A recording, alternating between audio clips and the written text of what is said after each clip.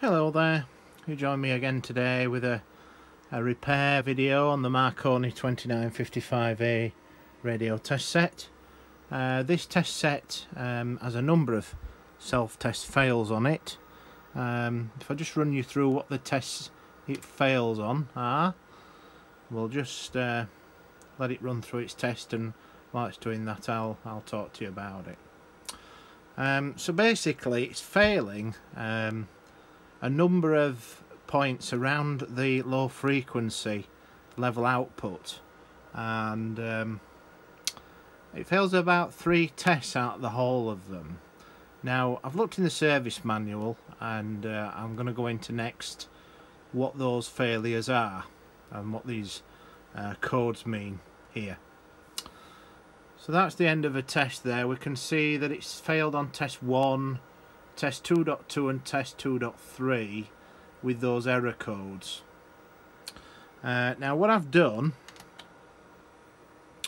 um, if I can just go back to return there, what I've done is I've um, got the service manual uh, for the test set and uh, we've got some information contained in the service manual which tells us what these tests mean. So this is for example test 1 and all the parameters there um, regarding what those tests are. And it tests them at different levels at low and high frequencies at different frequencies at 20 megahertz and all these other frequencies on the SIGGEN output. And uh, it does this uh, on a number of tests test 1 2 and 3 and it gives you the codes. Um, just to quickly summarize what those codes are um, is the codes mean um, for example code 1 test 1 code 11 is the 20 megahertz test frequency. It says is a high frequency. That could be because you can't measure it for example. Uh, test 2.2 code 25 is 20 megahertz signal low power.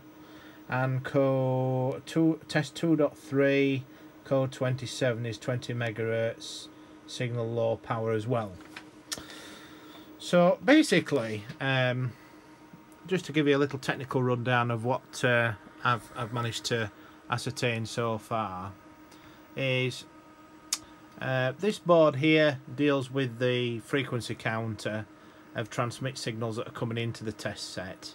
Uh, this is a DMOD board. This deals with all the modulation side of things. Uh, the transmit power side of the test set's measured on the other side with an RF attenuator um, and then fed to a digital processor which reads the TX power etc.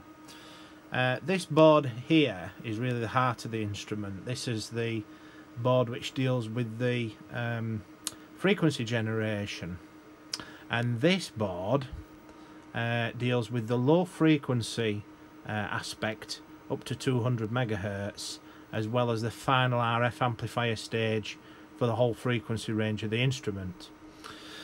Now how this instrument works is uh, believe it or not, the signals generated by just three oscillators, primary oscillators, which are indicated here on the diagram, and uh, which are physically on the board these three cans. These are the three main oscillators.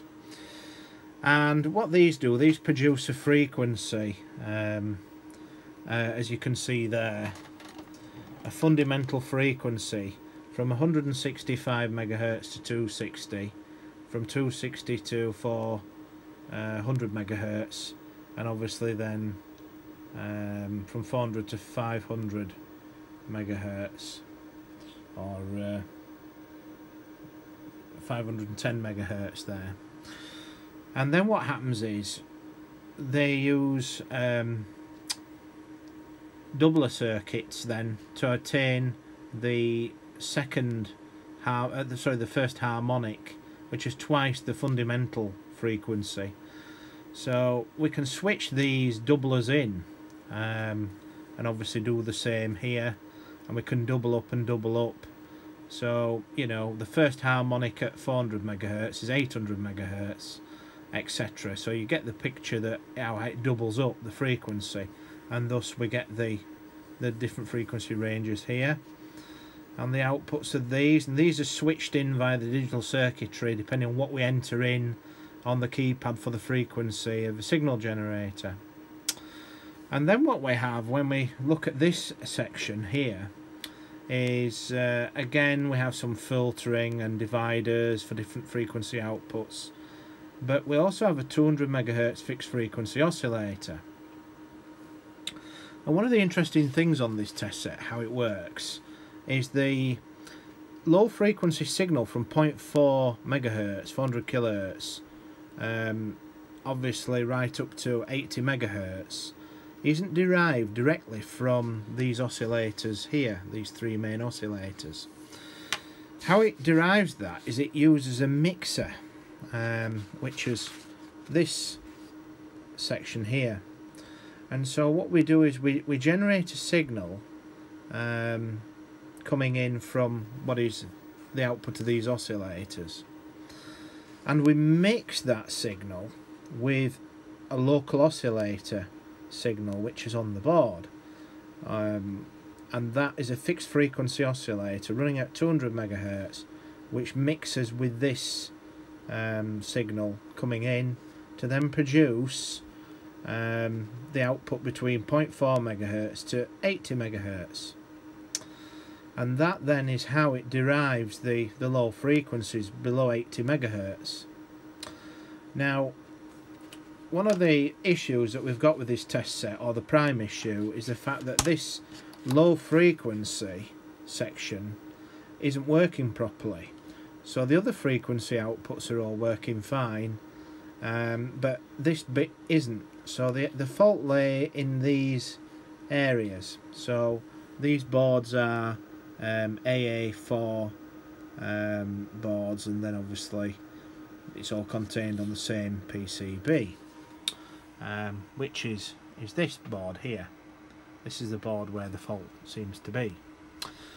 Now what I've done I've done a bit of digging before making this video and uh, basically the top and bottom of it is is that we have um, on the circuit diagram here just to quickly go through what has been a lot of uh, routing around and, and diagram finding etc uh, when we need to select the low frequencies um, that are on the range of 0.4 megahertz to 80 megahertz, we have to divert the RF path. And the frequency generation comes in from the frequency generator board across this link here.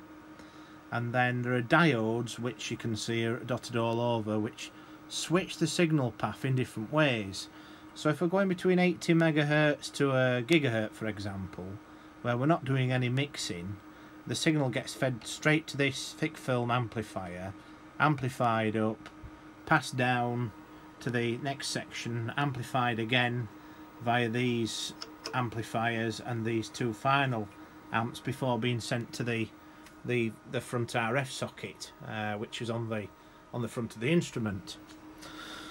Now, if we want a signal below 80 megahertz, what happens is the frequency coming in here is obviously in excess of 165 megahertz because it needs to mix. We have a local oscillator of 200 megahertz, which is what I've just showed you on the diagram, which is here in this area. And then we have the mixer, which is this little boy. That's the mixer. This is a phase lock loop circuitry for the um, for the phase lock loop for the 200 megahertz fixed frequency oscillator which mixes with this signal in here to then produce what is the 0.4 megahertz to 80 megahertz output. And then that's obviously fed off. Now there are logic levels that come in through this connector here into this board which tell um, a number of transistors which are highlighted here to switch DC levels on and off to this oscillator.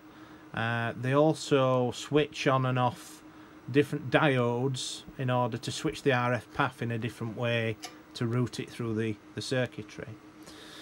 and so basically that's how it operates um, as a signal generator now the issue I've got here is that I've, I've done some tests using my test equipment and this fixed frequency 200 megahertz oscillator isn't running at all.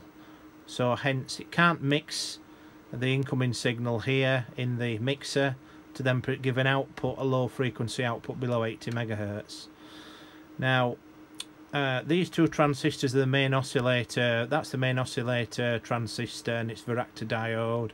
And then this is the buffer amp which then feeds the 200 megahertz signal out to the the mixer we have a tuning capacitor up here which is C79 and that chooses a center um, locking frequency if you like of the oscillator.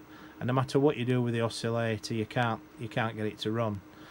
Um, now if we go back to the diagram a moment this is the uh, diagram of the oscillator. And uh, this is the phase lock loop circuitry and coming in to the um, circuit here we have a 10 megahertz reference signal which is fed in from the 10 megahertz crystal oscillator frequency standard within the test set and this is divided by 2 to give a 5 megahertz output which we we get on TP1 there, which is what I can I can pick that up. And this in turn then, uh, as you can see here, is, is fed into a, a differential amplifier.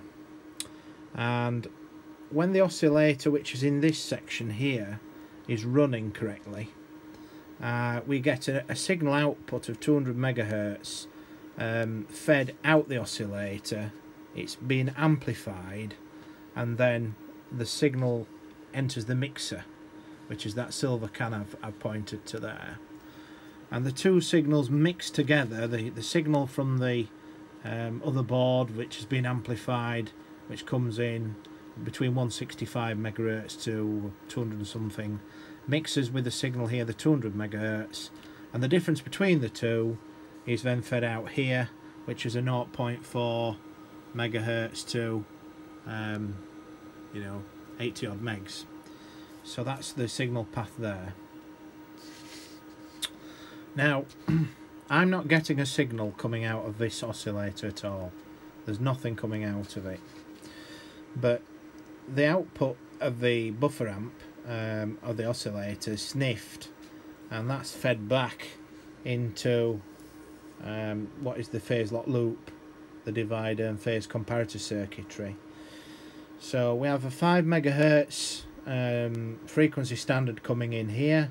Obviously if this is running at 200 megahertz this gets divided down and down and down until the output is going to be around about 5 megahertz here.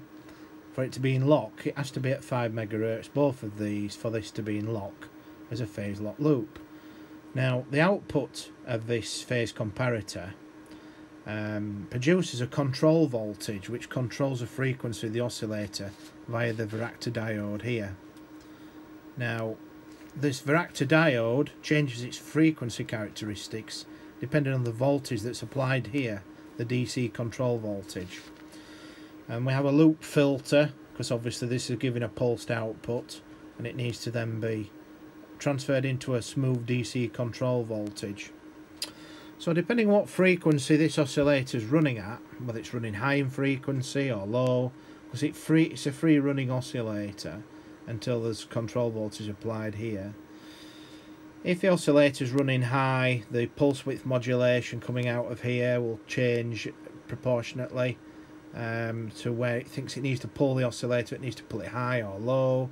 It'll change the voltage here proportionately so it'll it'll it could swing minus voltage for a moment and then go to positive voltage depending on what territory this has entered into uh, but either way once it's got the oscillator under control and the frequency coming out is at the desired frequency then these two inputs match in frequency and the output remains constant.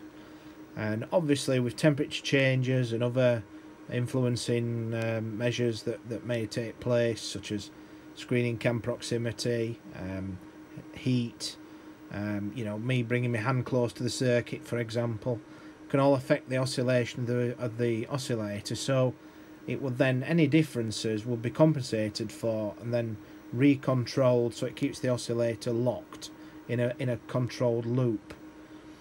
Now this DC control voltage isn't changing and when I tune C79 which is his tuning cap nothing's nothing's happening. Now how it controls this oscillator and switches it on and off is that there's a transistor switch here which is these two transistors. And uh, the DC conditions on these transistors uh, they are, they're fed via a minus 12 volt supply. And then we've got the IF range logic signal coming in which effectively switches these transistors on and off. So when we select a frequency below 80 megahertz this transistor switched on for example and it provides a minus 12 volt supply rail um, via these capacitors which are on the supply rail which I'll speak about shortly via these resistors to the um, transistors in the oscillator circuit. Again via another 1k whatever resistor over to this buffer amp but it doesn't just do that. It also provides an output um,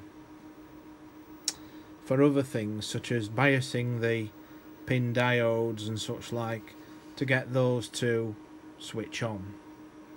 And so we also have a as part of this logic signal switching the power on the minus 12 volt rail to the oscillator because we have supply voltages on the transistors which are plus 12 volts uh, to both transistors.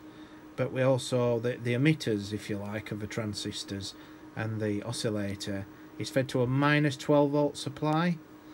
And so without that minus 12 volt being present on this rail then the oscillator doesn't run.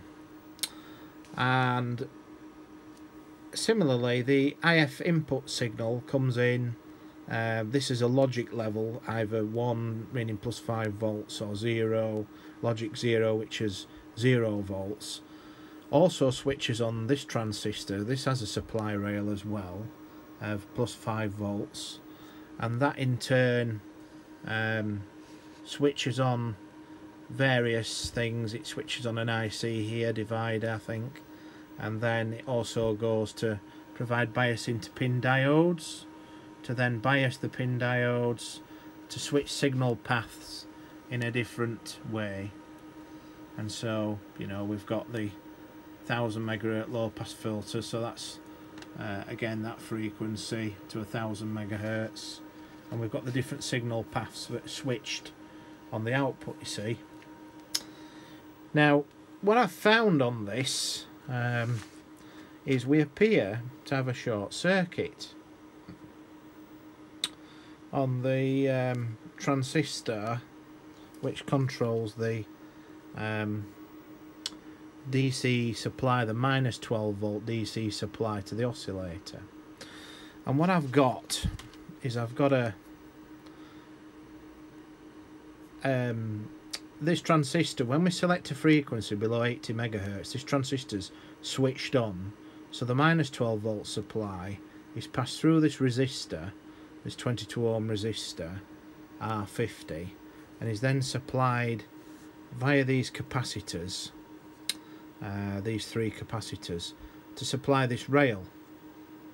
Now, incidentally, while testing round here for the voltages, because I have a supply voltage there to the collector of this transistor, and I also have a supply voltage there to the collector of that transistor, I then started looking at the minus 12 volt line and I noticed that when the frequency below 80 megahertz was selected, there wasn't any um, any voltage.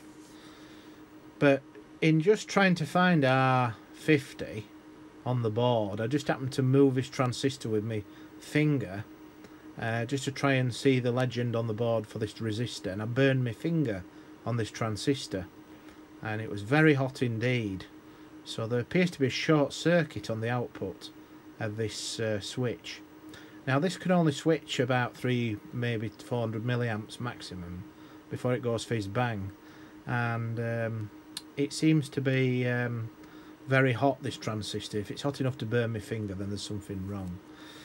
I doubt that um, judging by the the resistor values of a 1k8 I think it is again the same there these wouldn't be able to draw enough current if there was a fault condition in these transistors for example to cause such heating at that level. And um, naturally the current flow that's coming out of this is a near short circuit because I'm not getting any voltages. So I'm drawn now to these capacitors. So we have an unpolarized capacitor uh, probably a polyurethane or a um, ceramic. Uh, we've also got what appears to be two polarized capacitors. But because this diagram has been copied that many times the detail as to that is uh, is quite limited. There seems to be a uh, a little plus sign there. So I think these are either tantalum or electrolytics. But looking at the values of them 320 I think that's a 320 microfarad. Don't know what that one is. And the diagram which is on the on the PC as well that I copied this off. When I zoom in on it I can't I can't really pull the detail out. So I don't know what the capacitor numbers are for those. Uh, but on the board um, this is uh, if I just get some more light. So that's uh, TR6 uh, that's R50 which is the output and then uh, I think there are these capacitors across it before it makes its way up to the oscillator circuitry up here now I can't see any evidence of any charring or burning and because I can't physically tell what capacitor uh, these are. I'm going to look at some values shortly when I get the instrument on its back but we've got various capacitors all over. Um, normally tantalums go short circuit so I'm going to be looking at that more closely. Um, but again that's the DC switching transistor that switches the minus 12 volt supply. These are the phase lock loop amplifier circuits and that's then obviously the, the oscillator, varactor diode and tuning capacitor for the center frequency, the oscillator, mixer.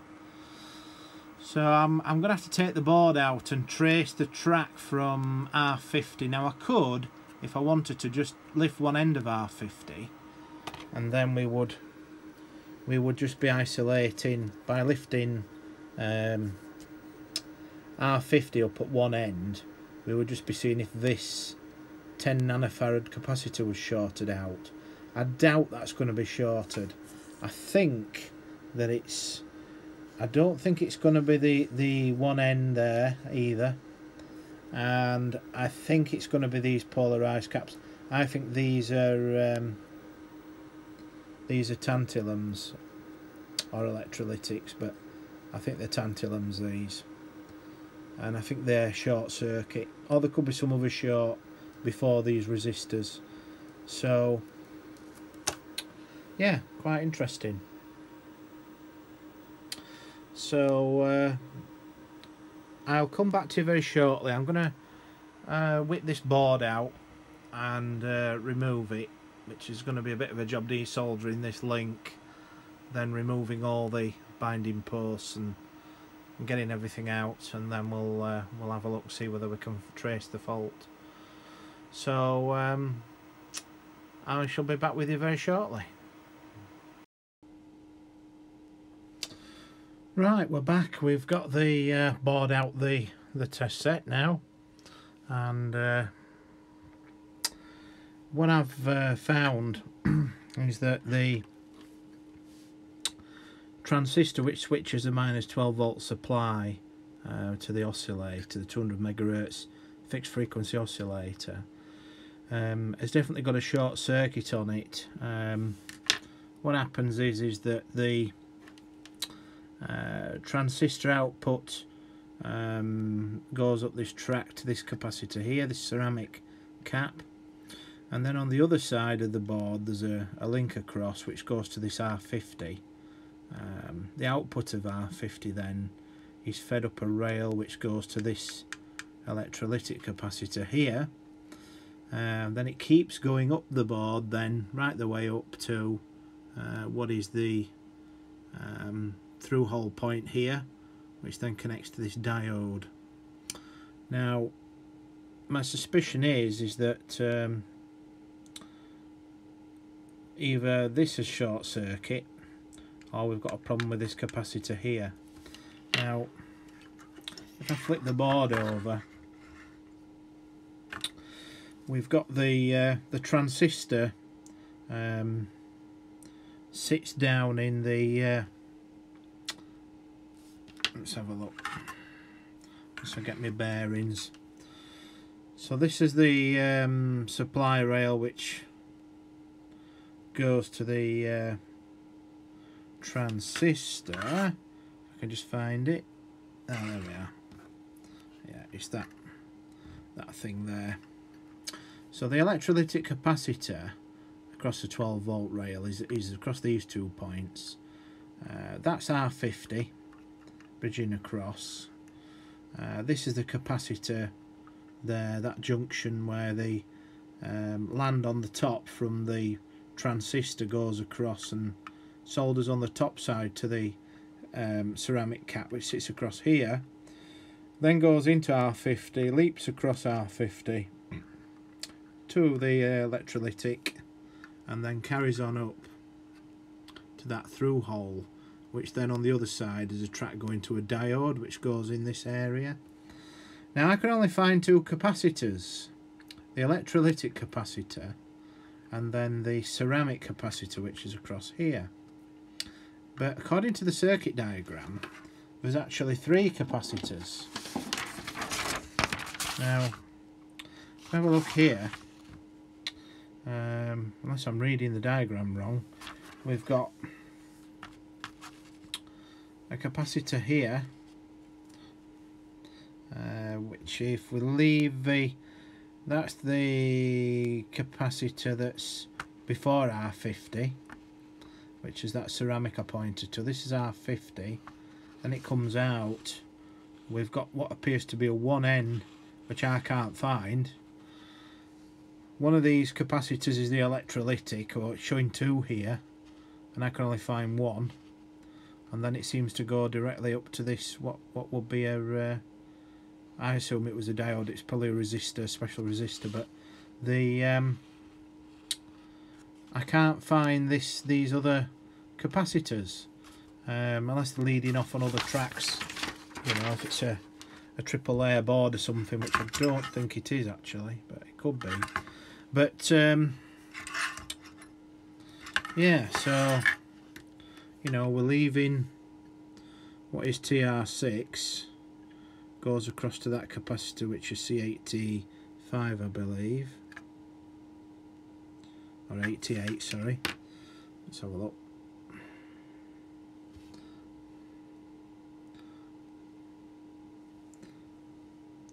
Yeah, C88 so it uh, goes across to there that land and then soldered on the other side then to connect across over to uh, over to this resistor. Now if we fit board over and we where is it? Just find it again. I think it's on this side. There we are. So that's the the land where it goes through across the capacitor then we've got R50 starting. And then we've got the electrolytic capacitor before it then disappears to this through hole. Which the through hole being here. That's the through hole um, just there. And then that goes up to this resistor. I don't know why I said it was a diode but it's a, it's a resistor anyway. Um, and then it, it goes there. So we don't have unless um, I'm missing something um, we don't have you know any other capacitors. So now does seem a bit strange uh, unless the diagrams been revised and they've you know there were perhaps revisions other revisions of this board.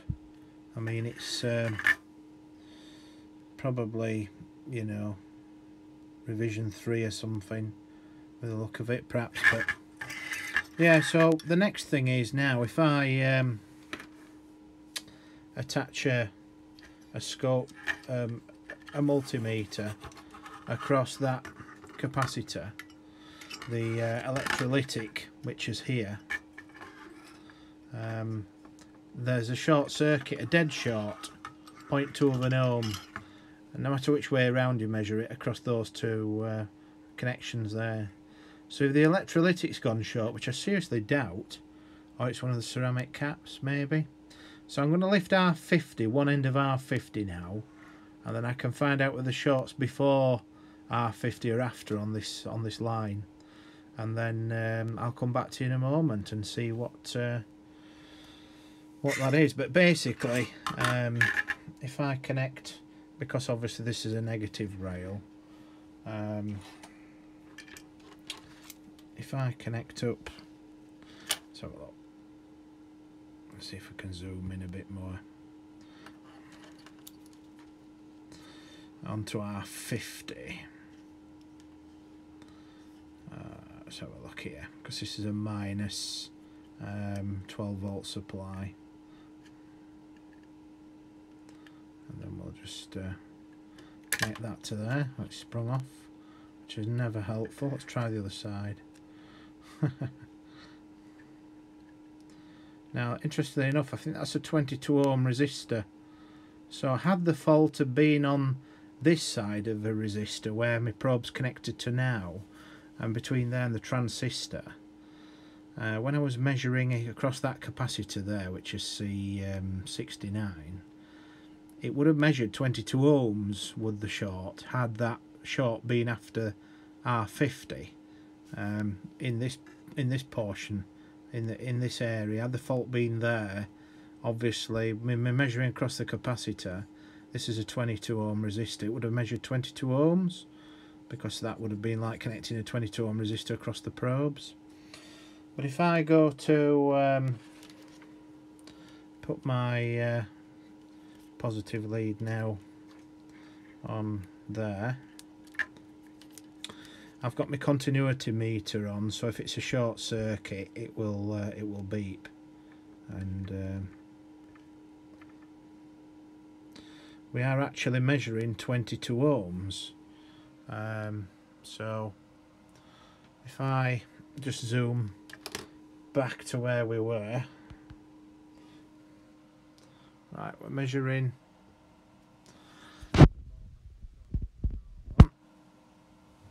So we've got an open circuit at the moment. When I put the probe on we're measuring 22 ohms. So that establishes the fact that what we've got there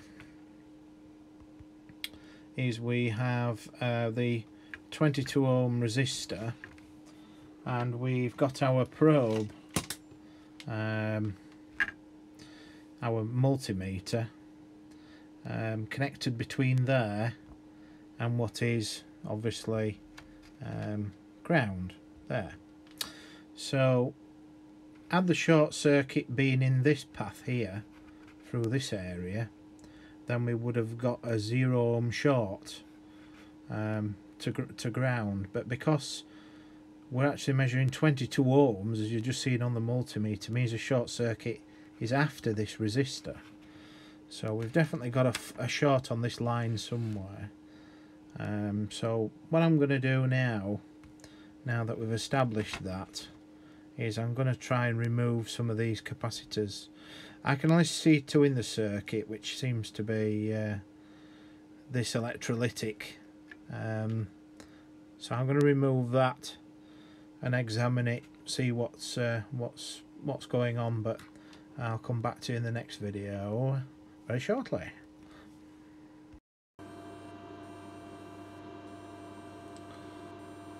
Right.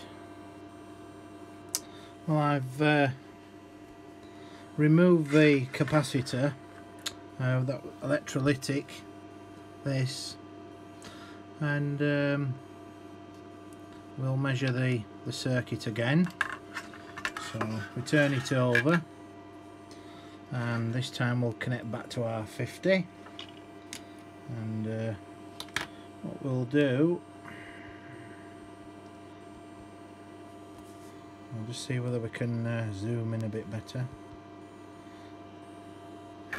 So,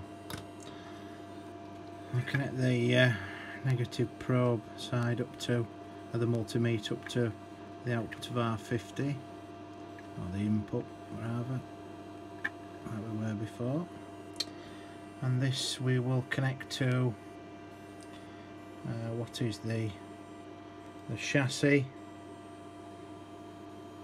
Uh, which is the ground plane area. Uh, so we can connect onto onto the chassis area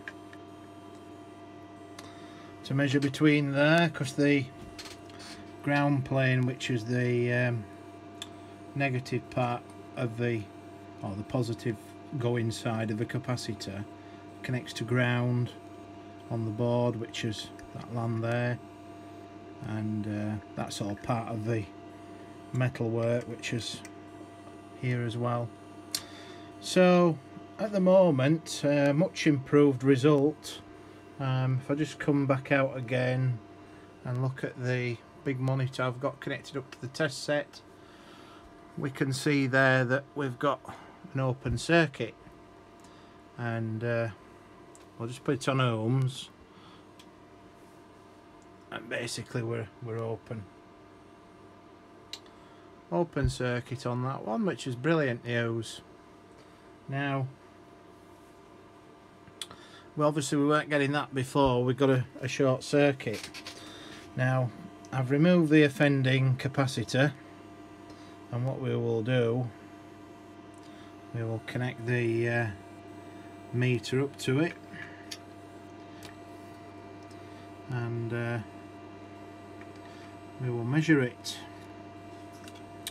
Um, so we will connect the negative negative to that side.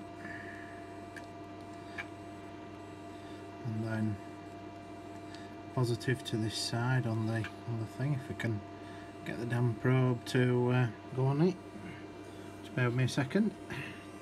While I physically connect it. It's only a small capacitor and it's quite tricky. Right so we've got the uh, capacitor connected. And uh, we've actually got a, uh, a short circuit. A 0.1 ohm short circuit. Now while I'm talking to you if I measure it the other way around as well switch the probes the other way around which I can do on the front of the test set instead of messing about trying to select the component it's still the same so that's quite a, an odd uh, occurrence is that? The fact that uh, we've got a short circuit on an electrolytic capacitor. And yet uh, when we look at the capacitor there doesn't seem to be any sign of um, of any failure physical failure so doesn't appear to be any leakage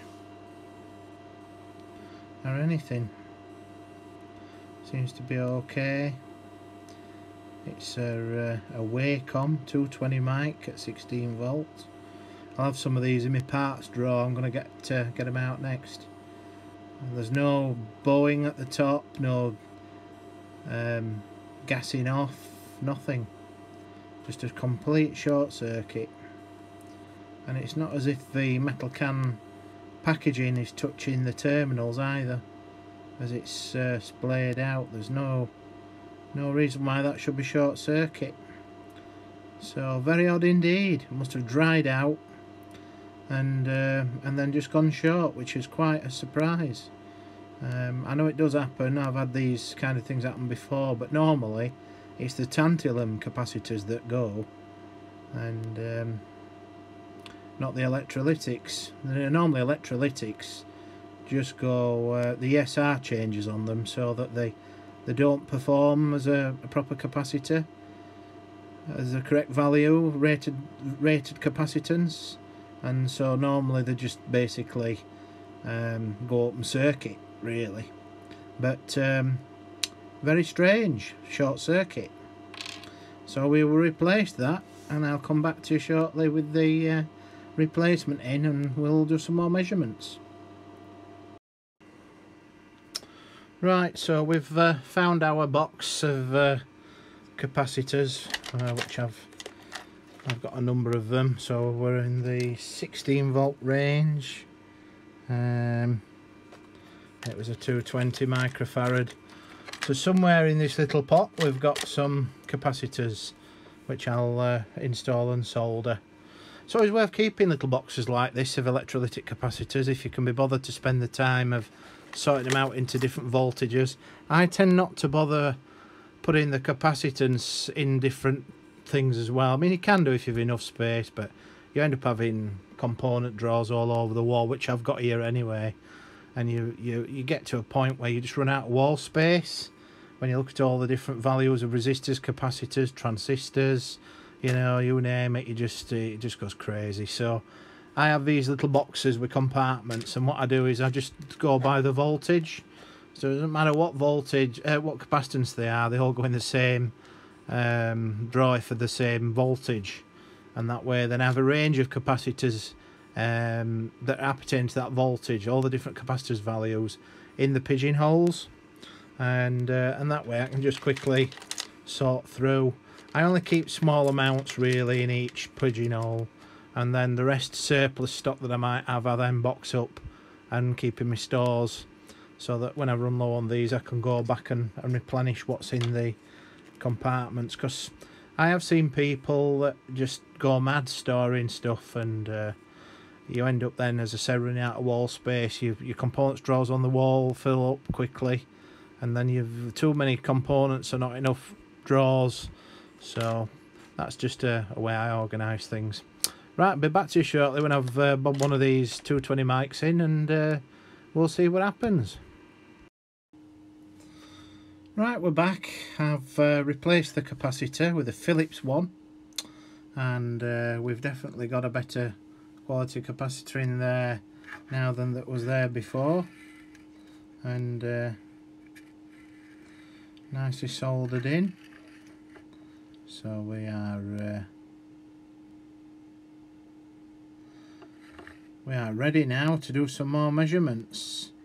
Just to check that uh, everything's fine then we'll bob the board back in the um, radio test set.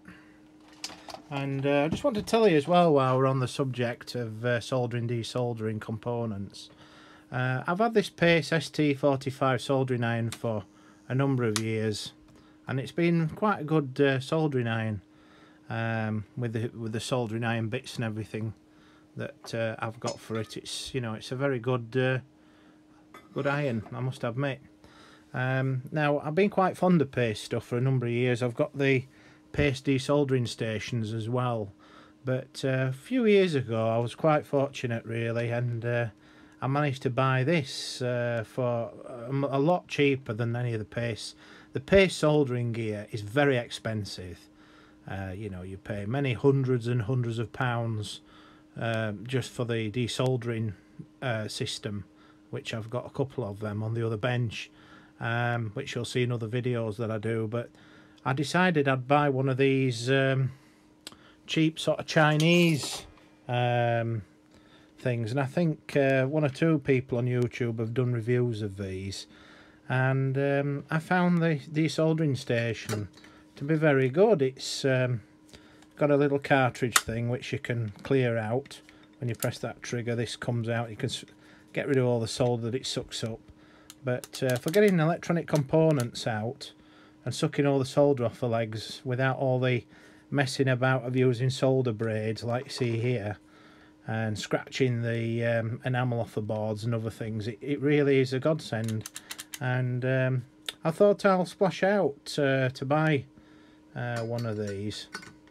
And um, the only thing I don't like about it is that the power switch is on the back and it's not on the front.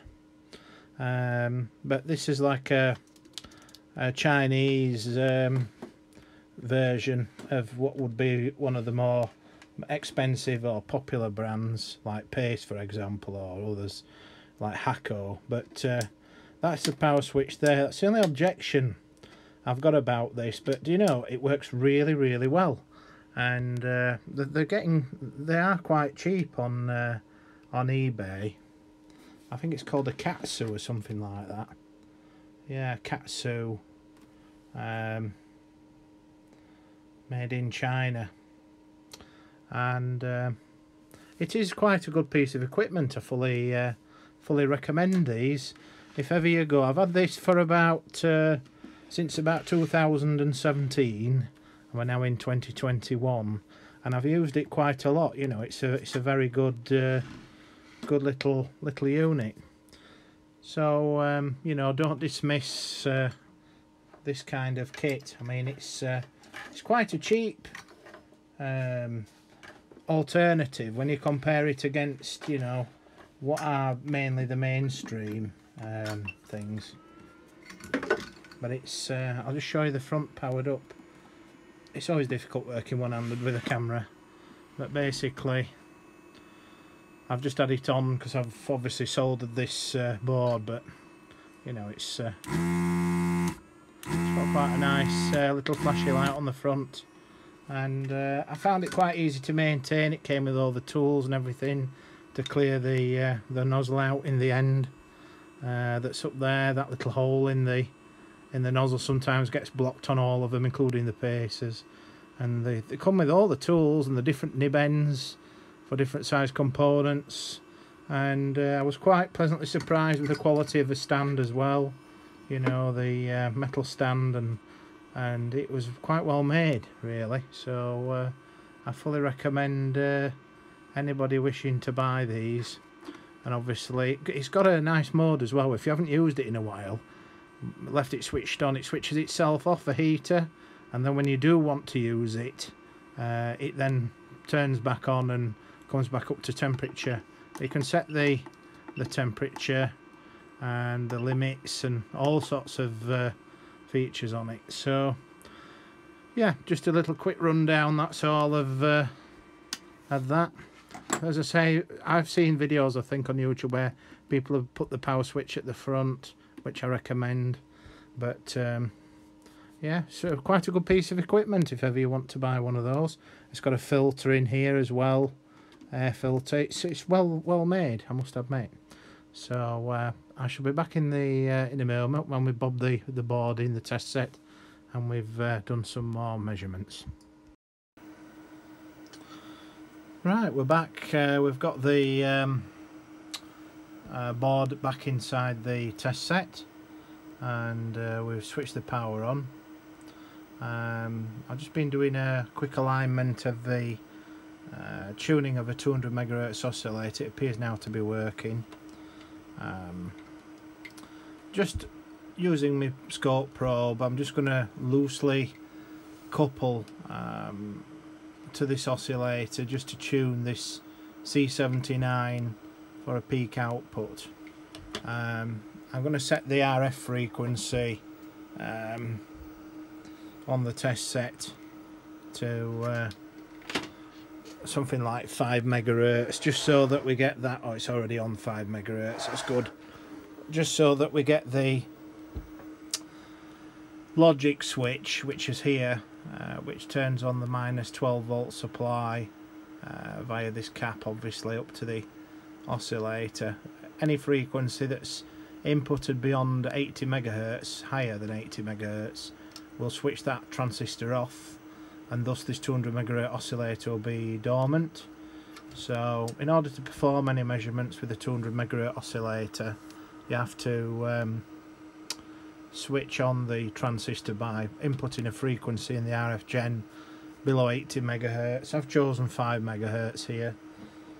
Okay, so I'm just going to go um, and loosely couple um, onto the top of the transistor. Uh, we've got a BFR 90 there transistor um, which this capacitor here uh, tunes uh, the center frequency of this oscillator so rather than load the oscillator by going on a particular pin I'm just going to touch the top of the transistor so that there's inductive coupling at RF frequencies between the junction of the transistor and my, and my probe. And so as we can observe on the spectrum analyzer in a moment when I uh, zoom back out again I should be able to observe a signal. And we want it as near on frequency as we possibly can. Um, so if I just go to the junction of the transistor we can see that it's um, wandered off a little bit. We want 200 megahertz frequency.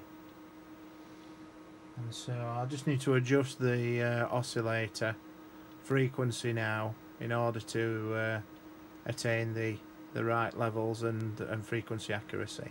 So what I'll do is I'll connect the probe up in the circuit um, if we go back to the circuit a moment and turn it the right way around what I will do is I will probably go to C79 or the uh, chip pin. I might go to um,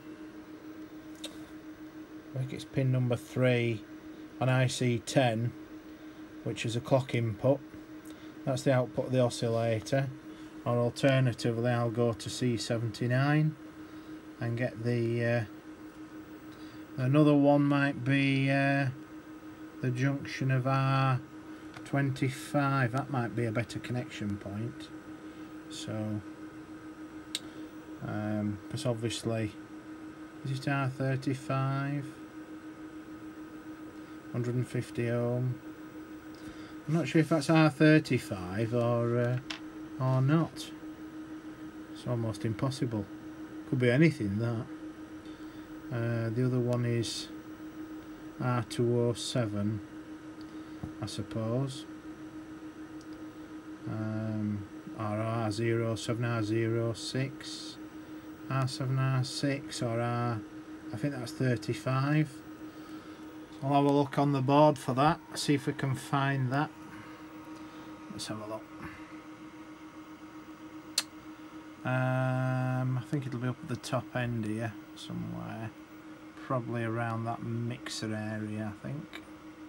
So let's have a look. There's R15 uh, that's the oscillator transistor. That's the buffer transistor I believe. Uh, I think that's C70 there and uh, just trying to fathom out where the uh, that's R18 that's R7 and I think that might be uh, that looks like it connects to a diode. I'm just trying to find what I think to be the the right resistor on the output because um, obviously they're connecting to what will be the mixer. There's R15 there. Not sure. Have a look at R 17 R16 that's the trouble you see when uh, circuit diagrams are being copied that many times the level of detail on them is uh, is gone. So I will study the diagram in more detail and come back to you in a moment once I've figured out which resistors in that diagram are what. And then we will put our scope probe on that and measure the signal directly coming out the oscillator buffer amplifier. And then we will calibrate the tuning capacitor which is here um, that little tuning capacitor to get the center frequency at 200 megahertz bang on. And we will uh, come back very shortly. Right we're back again. Um, we have uh, a bit more information uh, to inform you. When you uh, adjust this oscillator tuning cap to give you 200 megahertz uh, when you sample it on pin 2 of the IC10 uh, what happens is is if you switch the if you've if you've got it in lock and it's giving 200 megahertz as we saw earlier on the spectrum analyzer everything's hunky-dory. Uh, you can do self-tests it'll all pass and everything. But you switch the test set off and back on again uh, run the self-test again and it'll fail on the same ones as it did before and the reason for that is is because this capacitor isn't quite tuned properly.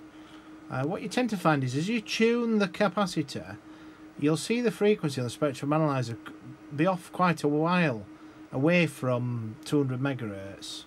And what it'll do it'll start to drift back as you adjust that cap. And then it'll get to a point where it's a couple of um, kilohertz off 100 kilohertz off whatever. And then suddenly it'll move to 200 megahertz bang on and it's in lock it's sort of controlling it. And no matter what you do with the capacitor then it'll not go for 200 megahertz until you get it right the way around then it'll suddenly jump off again. But basically once it's got it in lock it stays in lock. Now if you switch the tester off and then switch it back on again remember to put an RF frequency in and the RF generator of less than 80 megahertz. I put 5 megahertz in so it definitely switches this oscillator on then. You'll find that then the oscillator isn't at 200 megahertz it's gone off frequency again. And then if you run your self-test it'll fail them all again. And the reason being is because this cap needs tuning a bit more and you tune it bit by bit uh, until you get it on 200 megahertz each time.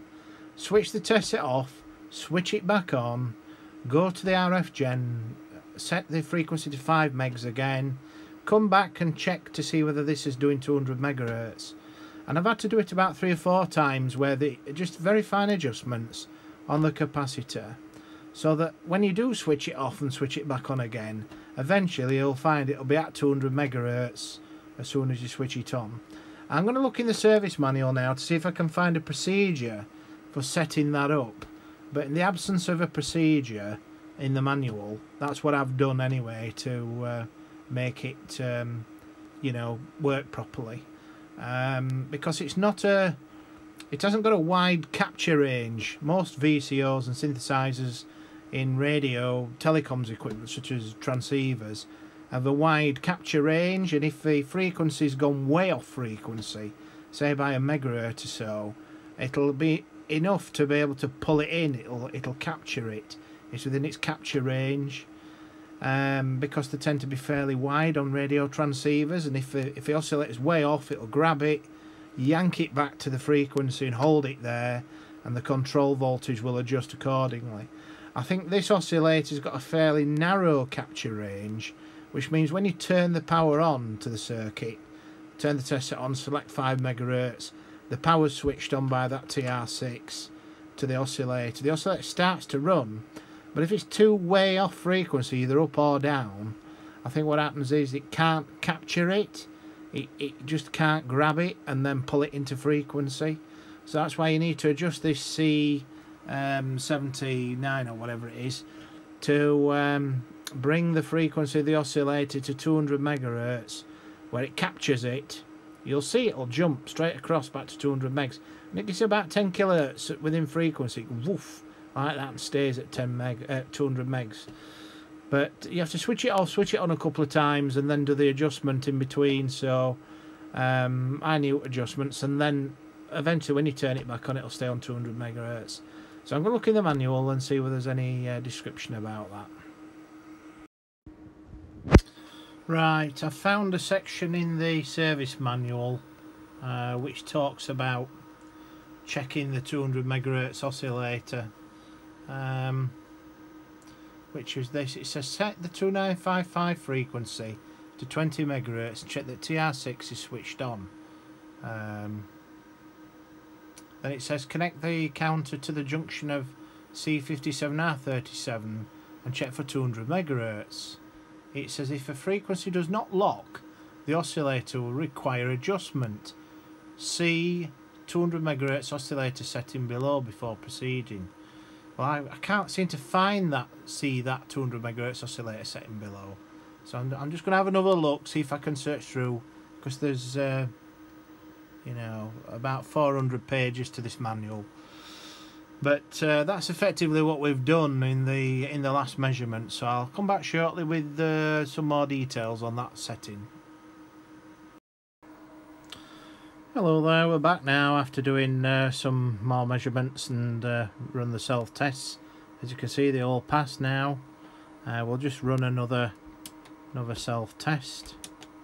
All tests. And we'll see what uh, what what happens. And uh, touch wood, fingers crossed, you know. They'll all, they'll all pass, not fail. but uh, that seems to have been the the repair Seems to have worked.